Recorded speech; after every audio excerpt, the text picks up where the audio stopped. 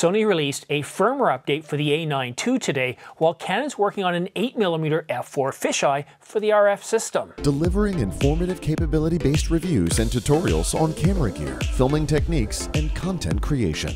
Hi, it's Simon from The Ordinary Filmmaker. If you're new here, please click subscribe and like as it really helps support my channel. And all the links to everything I talk about in this video, I'll include those in the description down below. Earlier today, Sony released firmware 2.0 for the Sony a7 III Mark II with several enhancements and bug fixes, which is pretty much the norm for these sorts of things. What else are we going to do other than enhancements and bug fixes? One of the most noteworthy enhancements is the ability to close the shutter when you turn off the camera. This is really good because it helps reduce the amount of dust and debris that can adhere to the image sensor when you're changing lenses. Dust buildup has been a bit of a pain and any reduction in this area is a welcomed improvement. At least you don't have to worry about oil splashing onto the sensor from the shutter.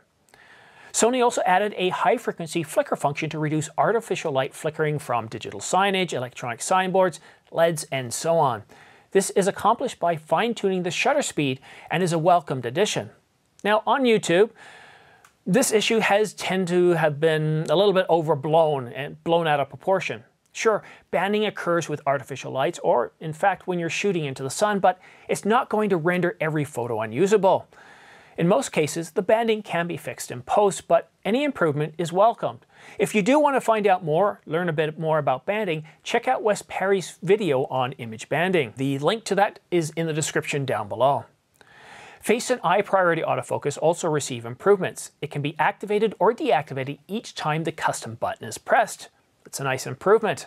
And other minor updates include improvements to the FTP transfer process, MAC addresses can be displayed as QR codes, and you can save or load the customized camera settings to My Menu, and of course, overall improvements to stability of the camera.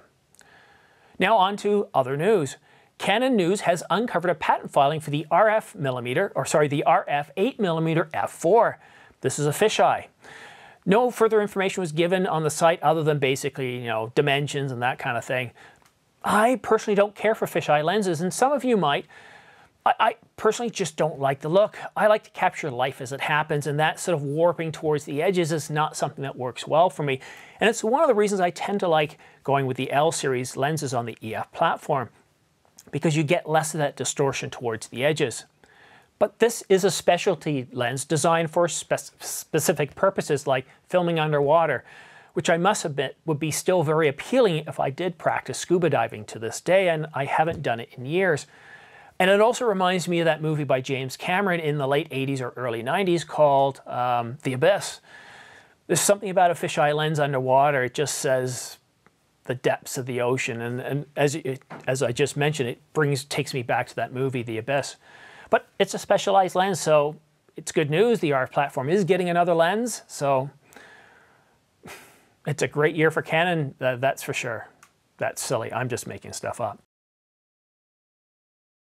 On this segment of Behind the Scenes, I'm going to talk to you a little bit about using a single camera. If you've been subscribing to me for a long time, thank you very much. If you haven't, please go ahead and click subscribe and like. The reason I mentioned that is if you've been with me for a long time, if you've subscribed to me, then you know I'm shooting with a Canon 70D.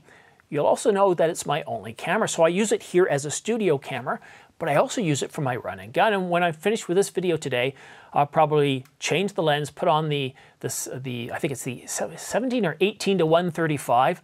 I get it mixed up because I used to have the 17 to 85 and I get them all mixed up over time. But anyhow, I'm going to put up the lens because that's my run and gun lens because we're probably going to have an Easter egg hunt tomorrow unless the weather turns south and I'll do it the next day. And what I tend to do, sometimes I'll forget to put it into manual mode again when I start shooting. Or, as I did yesterday, I forgot to tilt the camera back up. So my son wants to do a channel. He's, he's watching me, seeing what I'm doing and he wanted to do a Lego uh, video for his YouTube channel. So I set him up down here. I tilted the camera down a bit more. I adjusted the tripod. And while I looked in the viewfinder, not the viewfinder, sorry, the LCD through live view, things didn't look too bad. But the problem is I left the info on the screen, so it's very hard to see around the edges. I recorded yesterday's video and published it, and I was very unhappy with the results. I felt like I'd just gone back a month in quality. the top of my head was chopped off. Um, it, things just weren't positioned very well. And you'd be surprised at how many times things like this go on. Yes, I do have checklists, but sometimes we forget to use our checklist, or sometimes we think, hey, I've been doing this a long time, I've got this covered. To this day, I've got over 100 videos that I've shot since I started this channel five months ago. But I think the key is putting the checklists on my stands here and looking at them before I start because I shot that entire video and I almost thought of redoing it. I had it in the computer, I had things set up, I had some of the filters applied, and I was ready to just start reshooting.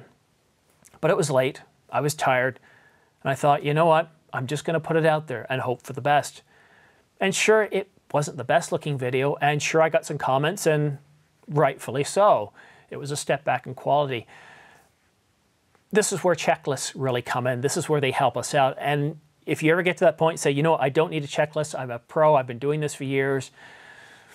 You haven't been doing it for years because if you have been doing it for years, unless you've got a perfect memory like some of my viewers do, you are for going to forget things. You're going to forget to put something in your bag. You're going to forget to change a setting. I really did wish, I really do wish I had other camera bodies. I am planning on buying either the R5 or the R6 when it comes out uh, this summer. And that will help because now I can have a dedicated camera for run and gun and a dedicated camera for YouTube. And I'm really looking forward to that. But that's all I have to say today. Thank you so much for watching. Uh, have a happy Easter. Have a great long weekend if you're in the West um, or if you're practicing Ramadan. Happy Ramadan. Guys, just have a great weekend and we'll see you again soon. Thank you for watching The Ordinary Filmmaker. All equipment used and notes are placed in the description box, show more box, or down arrow thingy next to the title on the mobile app.